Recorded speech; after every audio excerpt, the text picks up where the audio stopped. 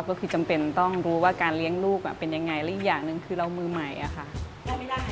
นะพอเวลาน้องอื้อขึ้นมาอื้อก็จะออกมาเราก็ต้องดูพี่เป็นคนทำงานมาก่อน แล้วก็ไม่มีความรู้เรื่องเด็กเลย นี่คือเหตุผลว่าทำไมถึงต้องมาเรียน การเลี้ยงเด็กเป็นหนึ่งในหลักสูตรการเรียนการสอนของโรงเรียนแห่งนี้ค่ะ สภาพสังคมที่เปลี่ยนไป บทบาทในการดูแลลูกของครอบครัวก็เปลี่ยนตามที่นี่จึงสอนทุกอย่างที่จะทำให้ผู้เรียนไม่ว่าจะเป็นใครและเพศไหนก็ตามพ ร้อมสำหรับการเลี้ยงดูสมาชิกคนใหม่ของสังคมค่ะ คุณภาพของลูกเนี่ยไม่ได้ขึ้นอยู่กับแม่เลย ขึ้นอยู่กับคนที่จะดูแลก็คือจะเป็นพ่อ หรือหรือจะเป็นแม่นมคือบางคนอ่าแม่ก็เป็นเด็กกำพร้าอะไรเนี่ยเขาก็สามารถที่จะเติบโตขึ้นมาอย่างอย่างอ่าเหมือนเด็กปกติ แล้วก็มีคุณภาพก็คือ ถามว่าจำเป็นต้องเป็นแม่ไหมไม่จำเป็นแบบนี้ก็เริ่มถูกตั้งคำถามจากสังคมมากขึ้นว่าว่า บทบาทของความเป็นพ่อความเป็นแม่เนี่ยมันใช้สรีระทางเพศตัดสินอย่างเดียวหรือเปล่านะบรรทัดฐานของครอบครัวก็เลยพยายามจะสร้างว่าความเป็นหญิงความเป็นชายที่ถูกต้องตามจารีตประเพณีของคนเป็นพ่อเป็นแม่ต้องทำหน้าที่ให้เป็นตัวอย่างที่ดีของลูกยังไง แล้วเราก็สอนกันผ่านโรงเรียน ผ่านสถาบันการศึกษา หน่วยงานต่างๆ ก็ผลิตชุดความรู้เรื่องครอบครัวแบบเนี้ย ออกมา เราอาจได้เห็นภาพครอบครัวในอุดมคติลอยขึ้นมาค่ะ แต่บทสนทนาก่อนการออกเดินทางมาหาครอบครัวหนึ่งในวันนี้ทำให้ฟางคิดว่าเราอาจต้องตั้งคำถามกับภาพครอบครัวในอุดมคติของเรากันใหม่ถ้ากรณีสื่อของเขาเนี่ยถูกเผยแพร่ออกไปหมายถึงว่าคนรอบข้างบ้านใกล้เคียงอะไรอย่างเงี้ยค่ะ เพื่อนที่ทำงานอาจจะรับรู้และทำให้เขารู้สึกไม่ไม่มั่นคงค่ะ ในเรื่องของหรือ หรือถูกจับจ้องอ่าถูกจับจ้องมากขึ้นอะไรอย่างเงี้ยค่ะ เพราะมันมันเท่ากับการตีปี๊บเป่าประกาศออกไปนะคะว่าแบบเนี่ยเออเป็นคู่ชีวิตของคนรักเพศเดียวกันนะอะไรอย่างเงี้ยค่ะเขาก็เลยรู้สึกกังวลใจค่ะแล้วก็เคารพในการตัดสินใจเพราะสุดท้ายแล้วคนที่รับผลกระทบ นั่นคือตัวเขาเวลาเขาออกสื่อไปอย่างเงี้ยค่ะ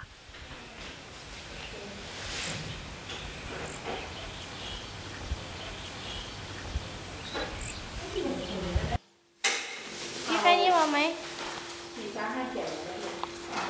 หนึ่ง สองสามสี่ห้าหกเจ็ด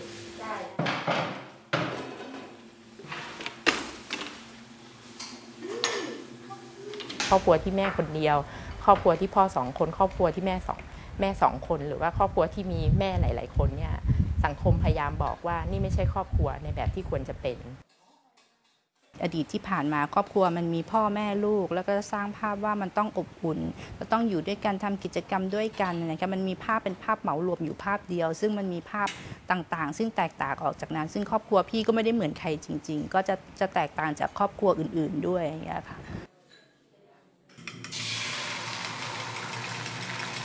เขาเริ่มเรียกเราว่าแม่ แล้วก็เรียกแม่สองคนเลยอะไรเงี้ยค่ะ แล้วเราก็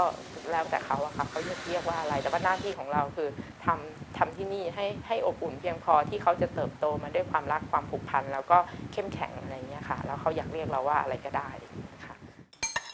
ครอบครัวของพี่เจี๊ยบและพี่จุ๋มคือครอบครัวที่ฟางจะแนะนำให้ทุกคนได้รู้จักในวันนี้ค่ะ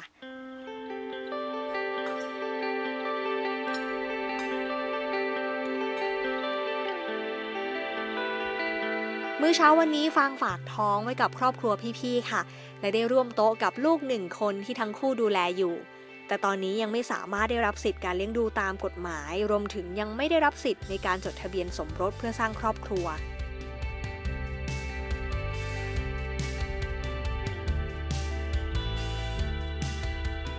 พี่ๆทั้งสองทำงานเคลื่อนไหวประเด็นสิทธิความหลากหลายทางเพศ สิทธิเด็ก สิทธิชนเผ่าพื้นเมือง และสิทธิผู้หญิง ทั้งในระดับประเทศและนานาชาติค่ะ วิธีการมองผู้คนที่หลากหลายด้วยความเคารพ จึงถูกส่งผ่านและพูดคุยกันเป็นปกติในครอบครัวค่ะ เราก็จะไม่มีบทบาทของความเป็นเป็นพ่อเนื่องหลัก เนื่องจากเราก็จะคุยกับเรื่องเรื่องความหลากหลายทางเพศกับลูกด้วยว่าเออมันมันมีมากกว่าผู้หญิงผู้ชาย แล้วเขาก็จะเรียนรู้จากเพื่อนเขาเองด้วย ก็จะมีคนที่เป็นเขาบอกเพื่อนเขามีเป็นกระเทยนะ เพื่อนเขามีเป็นไบเซ็กชวลนะอะไรอย่างเงี้ยค่ะเราก็จะมาคุยกันอย่างเงี้ยนี่แม่วันนี้หนูแกล้งแฟนด้วยแกล้งแฟนตลกดีนะไปไปไปเอาอะไรนะ ไปเอา กลับมือสองมาเสร็จแล้วก็เอาพวงกุญแจไปแลกนี่นี่คุยกับแฟนวันนี้คุยได้ชั่วโมงหนึ่งก่อน คุยเรื่องเกม ฟังดูเป็นบทสนทนาที่สุดแสนจะธรรมดาค่ะ แต่บรรยากาศการพูดคุยอย่างเปิดอกแบบนี้ อาจจะเป็นสิ่งที่ทุกครอบครัวใฝ่ฝันให้เกิดขึ้น กันกอดกันนักหันหลังให้กันจูบกันด้วยเนอะดีไม่เป็นไรไม่เป็นไรถือเป็นซีซันเมล มีมีนมด้วยครับผมได้เป็นโมเมนไทยรุ่นไงโอเคโอเคได้แต่ดีเซนเซอร์ไม่มี น้องสาวน้องชายมาโผล่ด้วยหนูก็เป็นอีกอันหนึ่งอะโอเค อันนี้เนาะจะอ่าทำไมหนูสภาพแบบนี้ดูว่าโอเคว่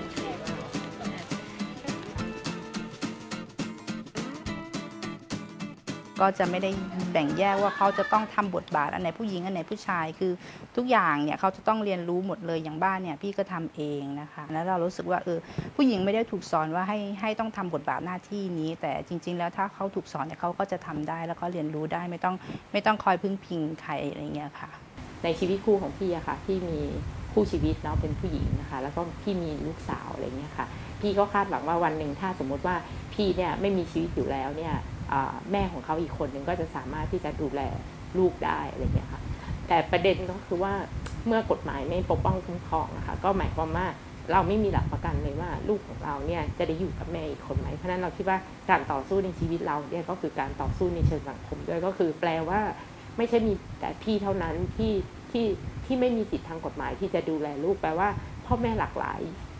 ทางเพศจำนวนมากเนี่ยค่ะไม่มีสิทธิ์ในการที่จะปกป้องดูแลลูกของเขาเลย เพราะนั้นการเปลี่ยนแปลงเองก็ต้องเปลี่ยนแปลงตั้งแต่ตัวเราเลย แล้วก็พยายามที่จะไป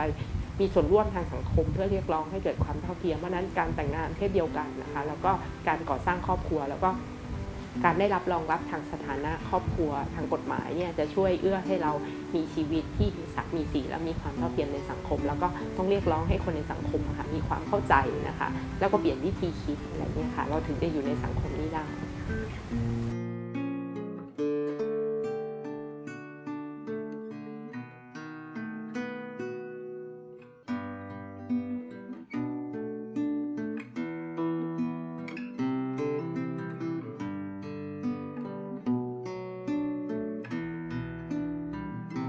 ตลอดเวลาที่ได้อยู่กับครอบครัวนี้ ฟังแทบจะลืมนิยามครอบครัวที่ประกอบไปด้วยเพศหญิง และเพศชายในอุดมคติไปเลยค่ะ เพราะสิ่งเหล่านั้นได้ถูกแทนที่ด้วยการพูดคุยกันได้อย่างเปิดอก กิจกรรมที่ทำร่วมกัน และความสัมพันธ์ที่สร้างสถาบันครอบครัวขึ้นมาจริง ๆ ไม่ใช่แค่กรอบความเป็นเพศหญิงหรือชาย เหมือนภาพอุดมคติที่เราสร้างขึ้นกับคำว่าครอบครัว